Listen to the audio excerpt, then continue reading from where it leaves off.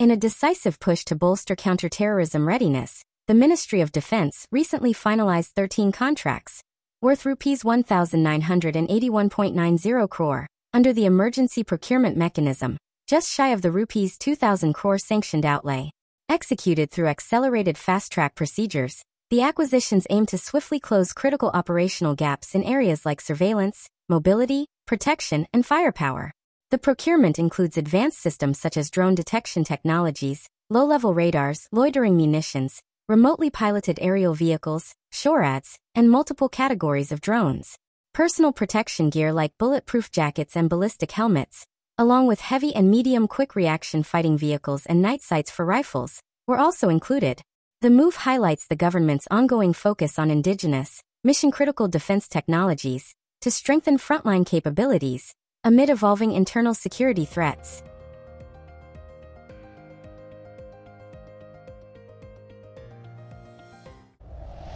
India is set to extend its indigenous ballistic missile defense system, or BMD, to Bangalore, Chennai, and Hyderabad, following the near completion of Phase 1 deployment in Delhi and Mumbai.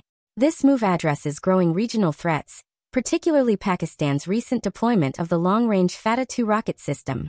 Developed by DRDO, the BMD features a two-tiered interception strategy, with Prithvi Air Defense and Prithvi Defense Vehicle for exoatmospheric and advanced air defense or AAD for endo-atmospheric missile interception. The decision reflects the increasing strategic value of southern cities, especially Hyderabad's role in defense manufacturing. A single, centrally located site is being considered to protect all three cities efficiently. Meanwhile, Phase 2 of the BMD program is underway, with advanced AD-1 and AD-2 interceptors in testing, aimed at countering intermediate-range ballistic missiles, IRBMs and intercontinental ballistic missiles, ICBMs. This expansion aligns with India's broader efforts to fortify national security against modern missile threats.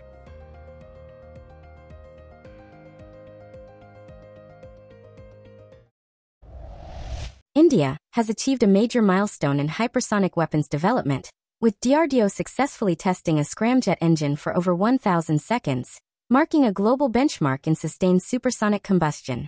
DRDO Chairman Dr. Samir V. Kamat confirmed the achievement, stating the breakthrough could power missiles over 3,000 kilometers at speeds above Mach 5. However, the formal sanction, to develop a hypersonic cruise missile using this technology, is still pending from the Ministry of Defense. Unlike hypersonic glide vehicles or HGVs, which have received government funding, hypersonic cruise missiles require continuous propulsion and offer superior maneuverability and evasion capabilities. India's progress, builds on earlier scramjet milestones like the 2020 HSTDV test. While the achievement positions India among global leaders, Dr. Kamat emphasized that further advancement depends on financial approval to transition from lab success to operational deployment.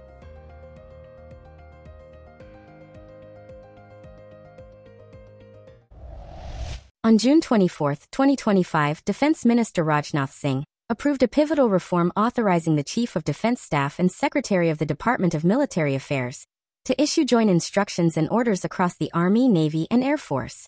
This shift aims to replace the earlier fragmented approach, where each service issued overlapping directives on inter-service matters, often causing administrative inefficiencies. The first joint order, focusing on the approval and standardization of such instructions, was released immediately after the announcement. This reform marks a critical step toward greater integration and jointness within India's armed forces.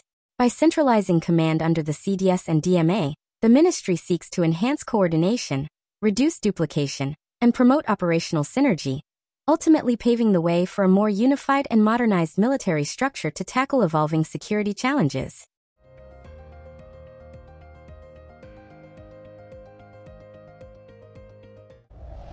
India has reportedly initiated the development of a conventional, non-nuclear version of its Agni-5 intercontinental ballistic missile, led by the Defense Research and Development Organization, DRDO. This new variant, designed to carry a massive 7.5-ton warhead, marks a strategic shift towards high-impact precision strikes without invoking nuclear escalation. Though the missile's range will reduce from over 5,000 kilometers to approximately 2,000 to 2,500 kilometers due to the heavier payload, it will retain Agni 5's core technologies like canister launch, solid fuel, and high accuracy. The missile is expected to feature two specialized warheads, an airburst type for wide area destruction, and a bunker buster capable of penetrating targets buried up to 100 meters deep. This adaptation aims to deter regional threats and enable rapid strikes on high-value, hardened military assets, reflecting India's evolving defense strategy for modern, conventional warfare.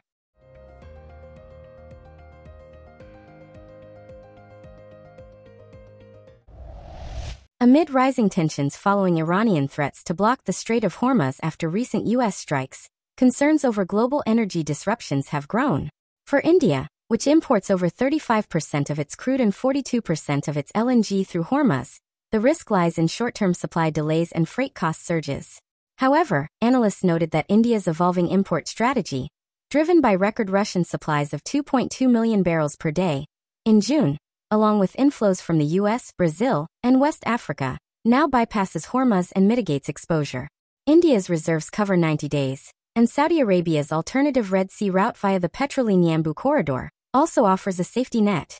While the chance of a full Hormuz shutdown is deemed low, due to potential self-damage to Iran's exports, even temporary disruptions could fuel volatility and raise tanker rates across oil markets.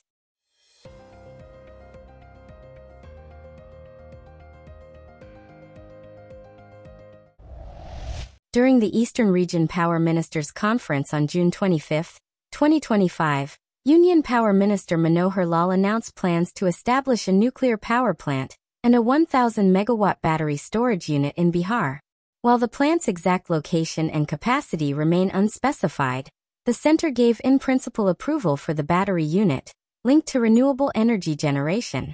The minister praised Bihar's efforts in reducing aggregate technical and commercial losses, and installing 80 lakh smart meters. He also confirmed the center's allocation of an additional 500 megawatt to Bihar for the next six months, emphasizing India's transition from power deficient to power surplus status. Lal noted the country is meeting peak demands while exporting surplus electricity. He also highlighted cybersecurity in the power sector, referencing Operation Sindoor and stressing the importance of islanding schemes to safeguard critical infrastructure.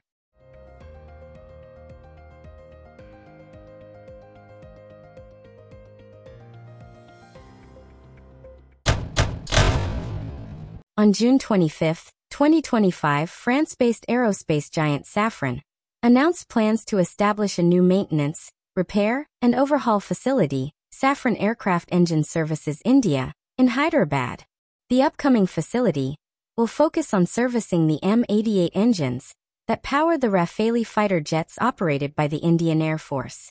The announcement was made by Safran's general manager, Pierre Fernandez, during a meeting with Telangana Industries Minister D. Sridhar Babu. The project is expected to generate around 150 jobs by the end of 2026, with the potential to create up to 750 additional positions in later phases. The new facility will be Safran's fourth site in Hyderabad, expanding its existing presence which includes units focused on LEAP engine parts and electrical systems for military aircraft. The LEAP engine MRO service is scheduled to become operational before the end of 2025. Safran credited strong support from the Telangana government in facilitating its expansion and expressed optimism about the region's role as a growing aerospace hub. The announcement was part of a broader Indo-French industry engagement initiative, highlighting Telangana's efforts to attract global defense and aviation investments and strengthen its position in India's aerospace ecosystem.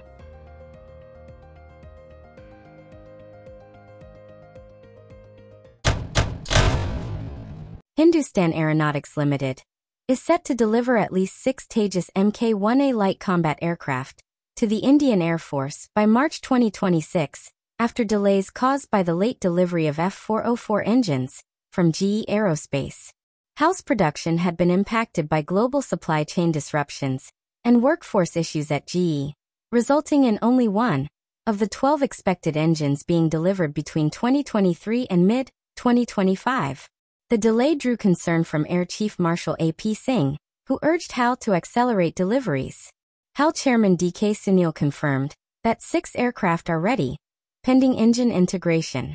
GE has now committed to delivering the remaining engines by March 2026, starting from July 2025. HAL plans to produce 16 jets next year, provided engine deliveries continue smoothly. The Tejas Mk-1A is a modern, multi-role fighter designed to replace aging MiG-21s and enhance the IAF's declining squadron strength. The Ministry of Defense had earlier signed a rupees 48,000 crore contract for 83 jets and is planning to procure 97 more for rupees 67,000 crore. HAL has also secured a contract for 156 Prachand light combat helicopters, with deliveries starting in 2028. Export interest in the Tejas platform continues to grow amid these developments.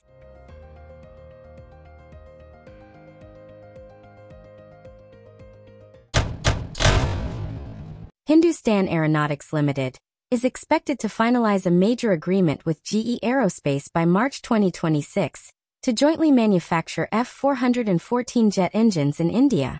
The deal, initiated during Prime Minister Narendra Modi's 2023 U.S. visit, represents a critical leap in India's push for defense self-reliance. HAL Chairman DK Sunil confirmed that 80% of the technology transfer terms have been agreed upon, and the focus has now shifted to finalizing the commercial terms of the deal, which is expected to be sealed within the current financial year. The F-414 engines, already powering combat jets in countries such as the US, Sweden, and Australia, will be produced in India under this agreement.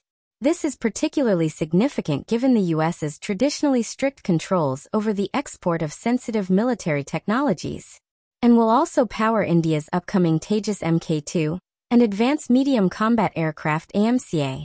These platforms will significantly enhance the Indian Air Force's capabilities through stealth features, superior payloads, and advanced electronic warfare systems.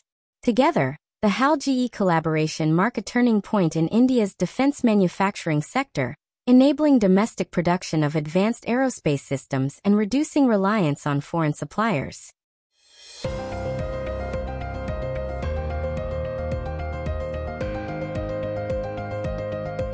That's all from YKS team for now. Hope you liked today's video. Please subscribe our channel for more such videos. Thanks for watching.